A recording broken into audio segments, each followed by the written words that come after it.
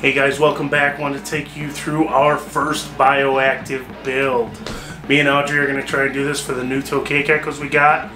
Stay tuned.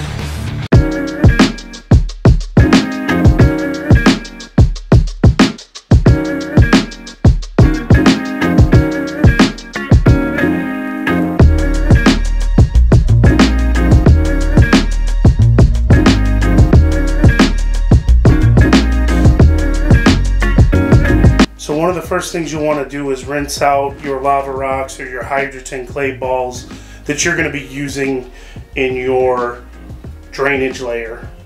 You'll see here us just rinsing it off in a 30 quart tub, but we ended up using a colander to do this to rinse it till the water was clear running through. So we're going to cut this to size, leaving about an inch and a half at the bottom for our drainage layer the substrate will cover that up so you won't see it once this is all done. And we're going to use silicone, adhesive silicone to keep it to the back. You're going to want to make sure that that is 100% all natural silicone when you're doing that. This is 14, what's it light cork is 14 inches.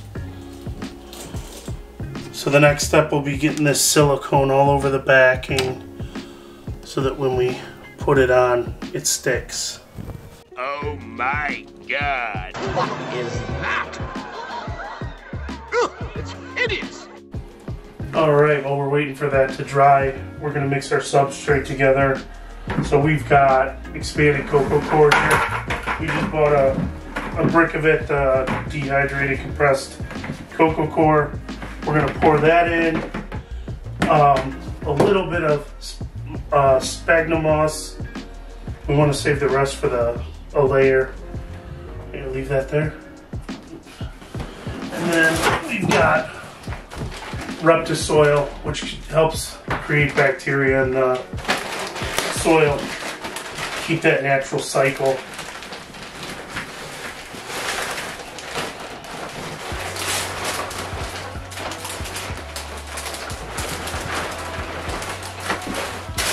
And then the last thing we're going to add is Reptichip to this. And then we're going to mix it all up.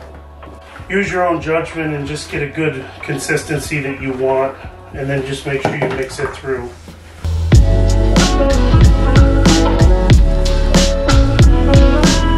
So we're cutting our filter floss media here. This will be our barrier in between our substrate and our drainage layer.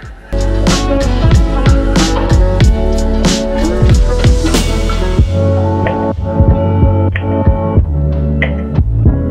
guys, this is Future Chris. I was just in the process of editing this video and realized I forgot to explain that what I'm clipping here is the egg crate and I got it from Home Depot and we want to cut this to size of the tank and you'll see where it goes soon. All right, so before we put in our drainage layer, I am gonna put in our diffuser. Now this will go over the drainage layer, but I want as much room in this enclosure in particular to be able to squeeze this in. Just because it is such a long piece, I have to kind of angle it.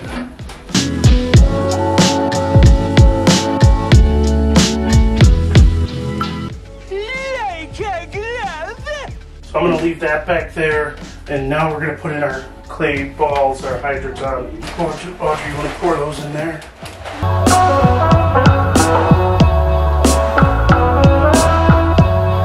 And then in the drainage layer, I'm just putting some bacteria starter so we can get that good bacteria going and cycle it. Now we're going to add a little bit of distilled water that we got from the store to the drainage layer here. Just a little. You don't want it to fill the whole thing.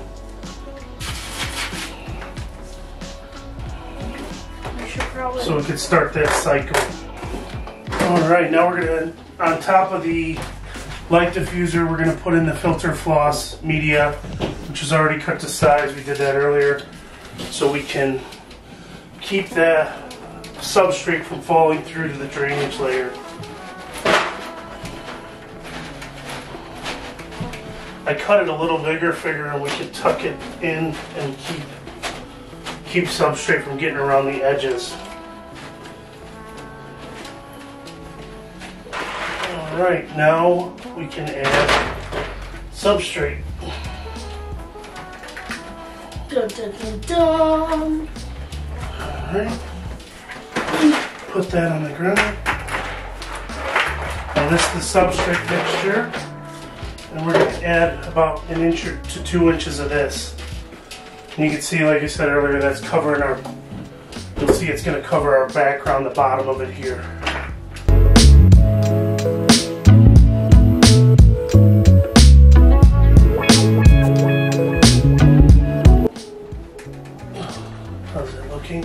Really good.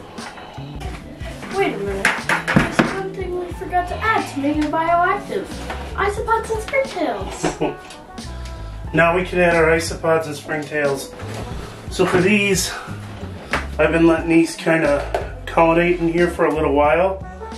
I'm just putting snake sheds in there and vegetables and bread here and there.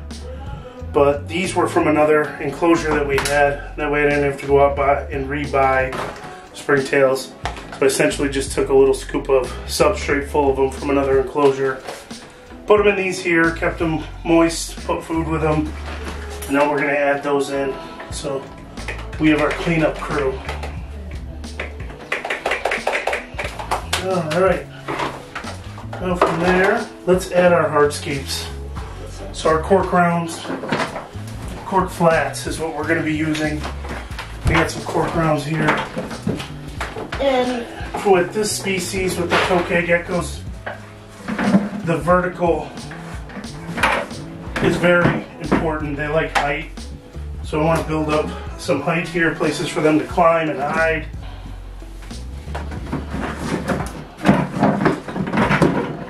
we have to use this. Look at this. This is like perfect for tokay geckos. Yeah, that is good. Perfect here. We can make that one. Uh, And babies can come out of there. that works perfect. I think. Okay. Small pieces Now we can look at our plants. plants. It means we gotta wash the roots off yet.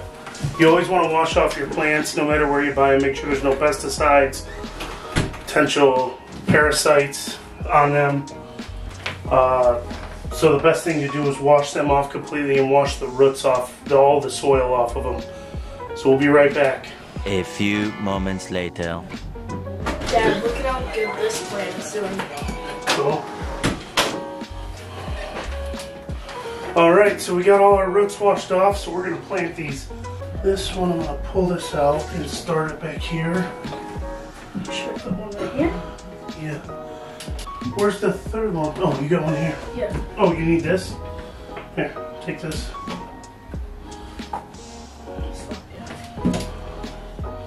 And then make sure that can get light from the UVBs. Or from the grow light. Mm-hmm. Uh, we can add our moss layer now. And then our leaf layer too. and a leaf litter. Now the meat, the moss, we're adding some sphagnum moss on a layer here. That'll, that along with the leaf litter will help keep the isopods concealed from the geckos. I'm really not sure how this is going to go with the tokay geckos, whether they're going to eat my isopods or not. Alright, sorry guys. Battery died there. We just finished putting in that leaf layer. I don't think you missed much. Yeah, so it's starting to come together. We've currently got the geckos in a holding bin with some cork rounds and cork flats. So we are going to introduce them. So we're going to introduce the male, and he is already in a cork flat or cork round. Now getting the female. Here's the male. He's hiding inside there right now, as you can see. So I'm going to add this to the hardscape.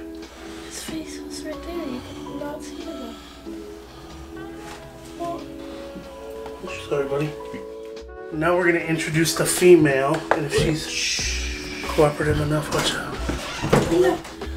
I don't know if you can see her there. Oh, what's that? What's baby? She hates you.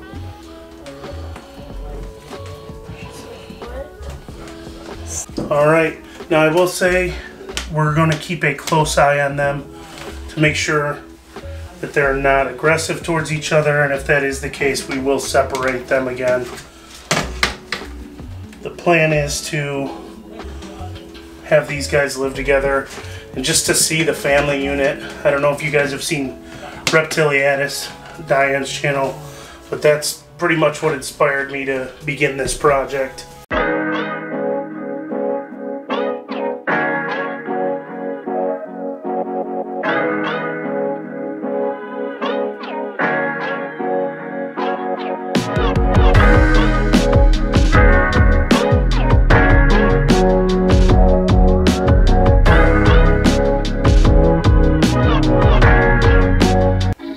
Alright guys, that's it for this build. We're going to put this up, get it under some UVB and a heat source here, and a grow light for the plants, Mr. Down, and call it a day.